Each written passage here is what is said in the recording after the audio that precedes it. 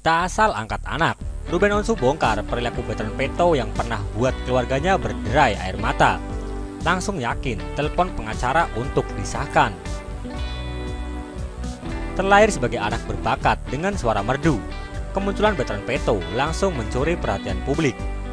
Terlebih saat presenter kondang, Ruben Onsu tiba-tiba mengangkatnya sebagai anak.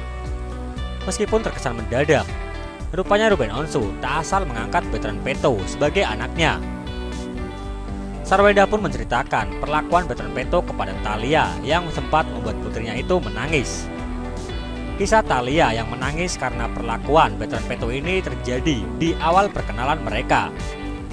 Dilansir dari YouTube The Onsu Family, Minggu 19 April 2020. Sebelum sah diangkat jadi anak angkat Ruben Onsu dan Sarwenda, veteran Peto sempat diajak liburan ke Bali. Di Pulau Dewata inilah veteran Peto dan Talia mulai mengenal sebagai kakak dan adik.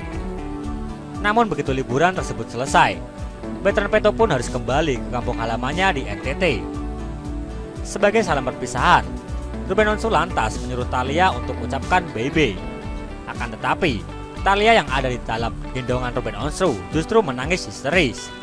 Baby, ujar Ruben Onsu mengajarkan Talia untuk memberi salam perpisahan kepada veteran Peto. Sarwenda yang melihat hal tersebut pun ikut terharu. Kesedihan Talia ditinggal pulang ke NTT oleh veteran Peto, tulis Sarwenda. Veteran Peto pun tak henti untuk kembali menoleh ke belakang melihat Talia yang menangis. Rupanya saat itu, Ruben Onsu, Sarwenda, dan Talia sudah memanggil veteran Peto dengan sebutan kakak. Bye-bye kakak, ujar Ruben Onsu dan Sarwenda sambil melambaikan tangan. Bye-bye, jawab veteran Peto. Talia berkali-kali mengusap air matanya yang jatuh. Sarwenda yang melihat langsung memberikan ciuman di pipi Talia untuk menenangkan sang putri. I love you kak, ujar Ruben Onsu lagi. Begitu veteran Peto menghilang dari pandangannya, tangisan Talia semakin histeris. Talia sedih karena kita sekeluarga sudah cinta banget sama kakak ya. Iya kan Ci? Tanya Ruben Onsu. Ditanya seperti itu, Talia hanya bisa menangis. Sudah jangan nangis, nanti kan ketemu lagi, oke? Ucap Ruben Onsu lagi, menenangkan Talia.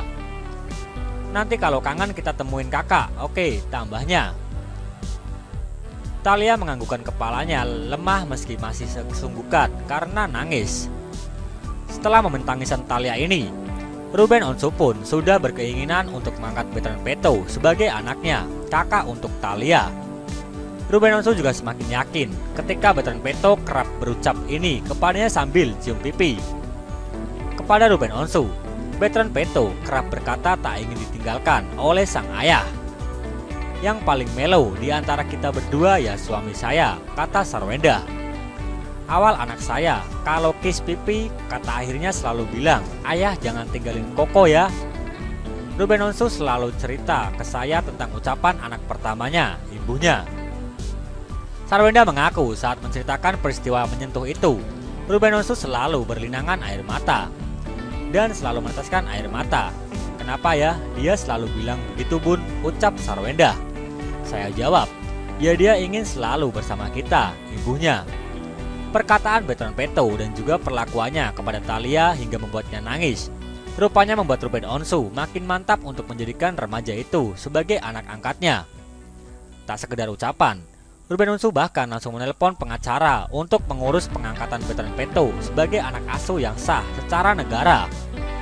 Dan dari situ, dia langsung makin yakin telepon pengacaranya untuk mau sahkan secara negara, ujar Sarwenda mengutip kata-kata Sarwenda Tan.